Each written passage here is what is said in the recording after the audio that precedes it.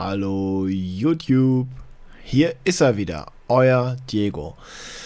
Ja, heute Video mit Fressecam ist auch äh, eine schwierige Kiste. Ich weiß selber noch nicht genau, wie ich es machen soll. Ich mache erstmal die Kamera ein bisschen kleiner, dass ihr das schon mal nicht mehr ertragen müsst. Ja. So, die Sache ist die. Ähm, ich zeige mal kurz eine Internetseite. Halt, mit der Maus nicht weglaufen, Diego. Ja, natürlich. So. Das kennt ihr eventuell, hoffe ich zumindest. Das ist das äh, ja, Strohbergungs-Add-on, wie auch immer. Das ist hier von Aerosoft, ne? ist äh, fast mein Nachbar hier. ich war sogar schon mal bei denen. Äh, da war aber mein, mein Kumpel hat da, also der hat da Untermiete gehabt und die hatten oben einen großen Konferenzraum und äh, ich fahre da mal da wegen einer Homepage, die wollten wir wieder besprechen und mein anderer Kumpel, der Percy, äh, also nicht, nicht, nicht den Percy, den ihr kennt, sondern mein Percy, den ich kenne halt. Äh, der hat da damals gearbeitet, der arbeitet auch nicht mehr bei Stöpsel. Aber ist ja auch egal, auf jeden Fall war ich schon mal bei Aerosoft, hab da im Konferenzraum gesessen. Ähm, aber so kenne ich die nicht, ne? Also ich, kenne, habe da so keinen Bezug zu den, den Leuten von Aerosoft. Ähm, nur wie gesagt, ähm, ihr kennt auf jeden Fall das Strohbergungsaddon. So, ich habe jetzt gesagt, ist eine Mod, ich bin Punker, da zahle ich kein Geld für.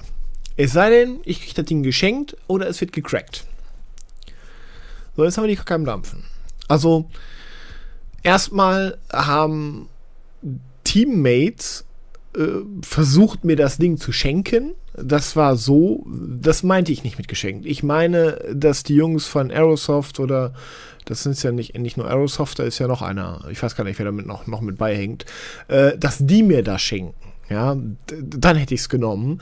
Und mit Crack dachte ich auch eher so, äh, dass man da auf irgendwelchen ganz schlimmen Seiten so suchen muss und mit, boah, ne. Ja, gestern war es dann soweit. Ich habe, ähm, äh, was habe ich denn gesucht? Ich habe gesucht eine Mord, eine Mord, ach, einen Überladetrailer habe ich gesucht, genau. Einen Überladetrailer habe ich gesucht ihr habt das ja auch, ihr habt so eure Seiten, wo ihr eure Mods ladet. Ich brauchte einen Überladetrailer. Ich habe geguckt, was gibt es so. Blinkt mich dieses äh, Stroh-Add-on an, ja. Ich so, Jungs, ihr seid nicht ganz up to date, ja. Äh, der Drops ist lange gelutscht, man kann es mittlerweile schon äh, länger kaufen jetzt, ne? Weil ich habe gedacht, unten steht dann der Link. Das war am Anfang auch auf einigen Seiten so, dann kam man halt auf diese Seite, die ihr jetzt seht. Ähm, wenn man jetzt äh, auf diesen Mod-Download-Seiten klickt, äh, bekommt man direkt das Ding. Ohne Kohle. Ja. Also wurde es gecrackt. Aber, wie gesagt, das ist jetzt nicht so, wie ich mir das vorgestellt habe. Also, ähm, so geht das nicht. ja? Also ich werde das Strohbergungsaddon jetzt trotzdem nicht spielen, ähm, weil das ist ja ja, würde ich sagen, habe die Schnauze zuvor also zu große Klappe gehabt. Diego nicht drüber nachgedacht, dass das in der heutigen Zeit einfach äh, ein Hasenfurz wert ist, ob da irgendwelche Leute irgendwelche Rechte haben. Ich hätte es mir auch eigentlich gleich denken können, weil das ist ja auch mit der Grund, mit ein Grund, nicht der Grund, aber mit ein Grund, warum zum Beispiel Schlüter-Fan aufgehört hat. Die Rona, die war es einfach leid. Sie lädt irgendwas hoch, bups ist es auf 10.000 Seiten und Giants macht nichts. Ich habe so eine Krawatte auf Giants vorher schon gehabt und jetzt nochmal. Weil, ich meine, wie gesagt, ich kenne die Jungs äh, von Aerosoft nicht, aber ähm, gönnen tue ich denen das auch nicht. Ja, also die haben da auch Geld reingesteckt und so weiter und so fort. Und ich meine, ist klar, wenn das Ding erstmal äh, frei auf dem Markt verfügbar ist, wer kauft denn dann noch für 20 Euro so ein Teil? Ja. Und wie gesagt, das, das Allerschlimmste ist diese Inkonsequenz bei Giants. Ne? Giants hat das jahrelang schleifen lassen. Ja? Die haben immer gesagt, so, ja, bloß nichts gegen die Modder. Also klar, die, ich sag mal, die richtig äh, ganz bekannten Dinger, ne? der eine da aus Paderborn oder so, ja. Ähm, der wird natürlich dann schon auf, auf dem Thron, auf Händen getragen und so. Und die anderen kleinen Modder, das ist mehr so das Fußvolk, so, ja, wird ein bisschen belächelt und ja, ja, ne, ihr kleinen Fuscher da. Ähm, aber im Prinzip äh, ist Giants glücklich, dass es sie gibt. Die Großen und die Kleinen. Und sie wissen ganz genau, je mehr Mods, umso interessanter wird deren Spiel. Also die Modder machen deren Game groß. Ja, das wissen die.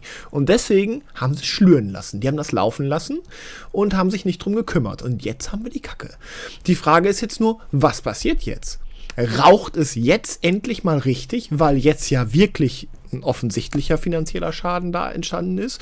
Wenn Rona über den Wupper geht, das interessiert ja keinen. Das juckt ja nicht. Ne? Es ist ja nur so ein Schmuddelmodder. Aber jetzt äh, ist da eine Firma betroffen. Jetzt, jetzt will ich mal wirklich wissen, raucht's jetzt endlich mal, weil ähm, ich, ihr wisst ja, wir haben auch einen Anwalt bei uns im, im Team und ich habe mir wirklich die Giants AGBs vorlesen lassen. Das war zu einer fortgeschrittenen Stunde. ich kann sein, dass ich da auch teilweise hat der Controller das nicht ganz gepackt bei mir, ja, aber ähm, der hat mir das vorgelesen und eigentlich darf mit Mods kein Geld verdient werden. Ähm, da ja auch meine Attitüde, dass ich gesagt habe, für den Strohbergungsadd-on zahle ich nichts. So, das war, ne, ich bin halt Punker, ich bin halt so ein bisschen, ne. So. Ähm, das bedeutet aber auch gleichzeitig, dass, dass die anderen kein Geld damit verdienen dürfen. Und Klicks ist auch eine Währung. Also Klicks, ich bin YouTuber, ja, ich weiß, was Klicks wert sind. Ja, Klick ist, ein Klick ist auch eine Währung. Und ähm, Rone hat sich, ich weiß nicht wie oft beschwert bei diversen äh, Leuten, ich möchte jetzt nicht direkt Namen nennen, ähm, und die haben noch dick und fett das Giants-Logo auf ihrer Seite. Wir sind Partner. Oh, ja, tschakka. Ne? Und äh, Rona hat x-mal mit denen gesprochen, hat gesagt, hört bitte auf, meine Sachen zu benutzen. Ich möchte das nicht. Ich habe meinen eigenen Download-Link, der ist bei Modhoster und ich glaube, auch da ist Geld im Spiel. Aber das, also wirklich, also was wirklich den, den Boden aus dem Fass rausgehauen hat, war, als ich bei der ähm, FarmCon war und wo der Typ uns präsentiert hat, dass man, wenn man, dass man Geld bekommt, wenn man Sachen im Motor äh, nach Klicks wird, das, das wird bezahlt. Leute, das steht in euren AGBs, dass es nicht geht. Ja? Man darf es nicht, aber ihr macht es selber und lasst es laufen. So, und jetzt ist die Kacke am Dampfen. Ja, die Leute laden, die sind geil, alle klickgeil, die wollen das alle auf ihrer Seite haben. Der eine klaut bei dem, der andere klaut bei dem. Ich habe heute nochmal geguckt nach Arbeit, ich habe extra bis nach Arbeit gewartet. Das Ding ist auf x Seiten da. Jeder äh, präsentiert das Strubbeck-Down. Ja, gut, jeder präsentiert auch die Modelle von Schlitterfan. Nur das interessiert ja wieder keinen. Ne? Und ähm, ja, jetzt bin ich mal gespannt, ähm, was passiert. Ne?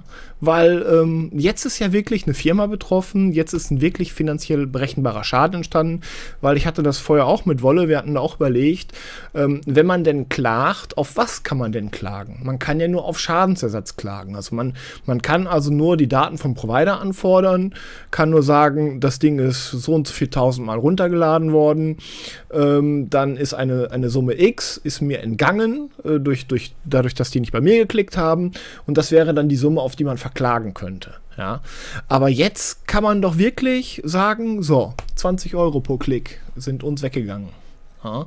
Und die, also jetzt muss doch mal was passieren. Ne? Und vor allen Dingen ähm, möchte ich, dass Giants mal langsam was unternimmt. Ja, weil, gut, ich meine, ich, mein, ich habe das selber ja, ich habe ja schon ähnliche Videos gemacht, ich habe das ja mal vorgeschlagen, dass es am besten nur ein Mod-Hub gibt oder zwei Mod-Hubs und alles nur im Mod-Hub hochgeladen wird, weil nur Sachen, die Mod-Hub sind, werden in das Spiel implementiert. Also wenn es nicht im Mod-Hub ist, kann man nicht damit spielen. Na? Das war mal so ein Gedanke, den ich gehabt habe, aber ja, wie gesagt, ob ich mich jetzt hier aufrege oder ob in China ein Sack Reis umfällt, das ist alles eigentlich auch egal. Ne? Nur, ähm, wie gesagt, das war gestern, Percy hat auch direkt so einen Hals und ich habe das gesehen, ich habe sofort Percy angerufen. Ich so, Percy, was ist das hier, ne? Percy auch so eine Krawatte gehabt sofort. Ja, er sagt, er hat es auch schon gemeldet, aber tja, die haben auch gesagt, ja, was, was soll man machen jetzt, ne? Und ähm, das ist in meinen Augen, das ist nicht richtig und äh, äh wie gesagt, ich habe in anderen Kommentaren auf meinen, auf, auf ähnliche Videos äh, äh von mir auch schon mal äh, gehabt, dass die Leute sagen, das interessiert mich doch gar nicht. Ne, ich, äh, ich arbeite zehn Stunden am Tag, äh, ich fahre noch eine Stunde bis nach Hause, dann bin ich elf Stunden unterwegs, dann mache ich die Kiste an, dann habe ich eine Internetseite, da gucke ich, was an Mods ist und die lade ich mir runter und fertig. Das interessiert mich nicht, ob da jetzt irgendeiner einen Klick zu wenig gekriegt hat. Ja, okay, kann man so denken, ist vielleicht sehr egoistisch von den Leuten, aber ähm, so ist es. Ne? Ich, ich bin nach wie vor der felsenfesten Überzeugung, wenn Giants von Anfang an konsequent gewesen wäre und hätte von Anfang an gesagt, äh, wir dulden keine andere ähm, Mod-Seite, außer die eine, die wir selber haben, und basta. Ne? Aber jetzt ist das Ding so ausgeufert und äh, wie gesagt, wir verlieren äh, schöne Add-ons, wir verlieren richtig geile Modder und ähm, ja, das Fußvolk bleibt erhalten. Das, das ist so breit, die Masse ist so breit, die kriegt man nicht totgekloppt. Ne? Und natürlich äh, die Leute, die es laden. Die kriegst du auch nicht breit gekloppt. Das sind auch so viele auf der ganzen Welt mittlerweile, äh, die sich diese Mods runterladen. Die kriegst du auch nicht totgeschlagen. Das sind einfach zu viele. Ne? So. Ja, also wie gesagt, es wird bei mir trotz alledem, obwohl ich gesagt habe, wenn ich es geschenkt, also ich will nichts von meinen Teammates geschenkt haben. Ich habe genug Geld, ich kann mir das kaufen, wenn ich das haben möchte. Mir geht es ums Prinzip. Ich gebe kein Geld für eine Mod aus. So, jetzt ist es zwar gecrackt worden. Ja, ich weiß, ich habe gesagt, wenn es gecrackt ist, spiele ich damit, aber da habe ich die Schnauze ein bisschen voll genommen, weil so geht's nicht. Also so nicht. Ich habe jetzt so ge wirklich gedacht, man müsste da so, so halb ins Darknet rein. So, so hatte ich mir das vorgestellt. Ja? Und nicht einfach, ähm, ich suche einen Überladetrader, was ist das denn? Äh, wo kommt das Ding denn her? Ne? So, so nicht. Ne? So. Ähm, ich hoffe, ihr habt mich noch lieb und ganz wichtig ist, dass ihr euch lieb habt.